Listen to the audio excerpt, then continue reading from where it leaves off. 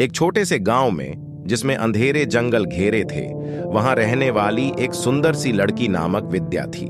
उसकी हर हँसी गाँव वालों को बहुत खुश कर देती थी, लेकिन एक दिन उसका जीवन पूरी तरह से बदल गया।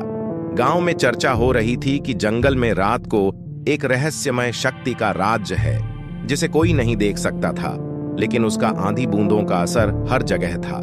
विद्या ने यह सुनकर ध्यान नहीं दिया और जंगल की ओर बढ़ती गई नींद में खो जाने वाले संगीत से चौंकाने वाले अद्भुत ध्वनियों की ओर, रात के अंधेरे में एक रहस्यमय रूप से विद्या के सामने आया, रूप में एक खौफनाक वैम्पायर का। वैम्पायर का चेहरा सांवला था, लेकिन उसकी आँखें कुछ अद्वितीय थीं, जो विद्या को अपनी ओर खींच रही थीं। विद्या डर के बावजूद अजीब रूप से खिली हुई महक और आकर्षण महसूस करने लगी। वैम्पायर ने अपनी लाजवाब बातचीत और मनमोहक आँखों से उसे आकर्षित किया। धीरे धीरे विद्या और वैम्पायर के बीच एक अनोखी मोहब्बत का रिश्ता बनने लगा। उनकी मुलाकातें रात के अंधेरे में होती थीं, जब जंगल की राज्य बातों ने उनके बीच एक अलग दुनिया खड़ी कर दी थी। लोग गाँव में इस अजीब मोहब्बत की अफवाहें सुनने लगे, लेकिन विद्या और वैम्पायर को खुशी थी कि वे एक दूसरे को पा चुके थे। उनका प्यार दुनिया भर की सारी चुनौतियों और विरोधों के बावजूद बढ़ता गया। वैम्पायर की आत्मा ने उसे एक अद्वितीय शक्ति से युक्त कर दिया था, जिससे उसने गाँव की रूहानी सुरक्षा को बनाए रखने का कारण बना लिया था।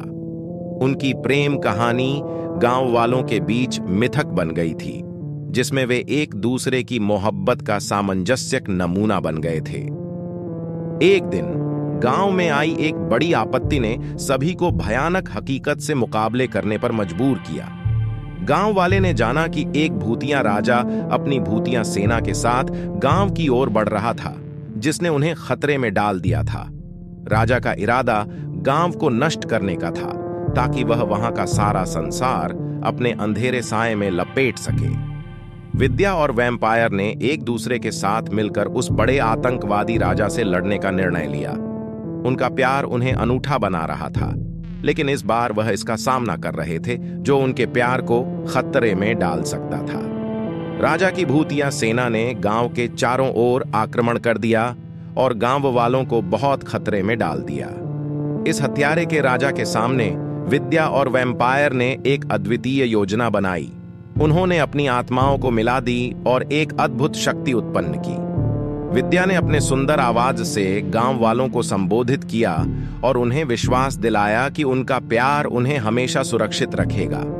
विद्या और वैम्पायर ने मिलकर उस भूतिया राजा के सामने खड़ा हो गया और एक बहुत ही भयानक लड़ाई शुरू हुई।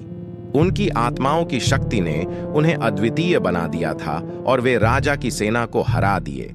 इस युद्ध में राजा को हराने के बाद विद्या और वैम्पायर ने गाँव को शांति और सुरक्षा की वापसी दिलाई। गाँव वालों ने उन्हें हीरो माना और उनके प्यार की कहानी ने गाँव को एक नए सफलता की ऊंचाइयों तक पहुँचाया।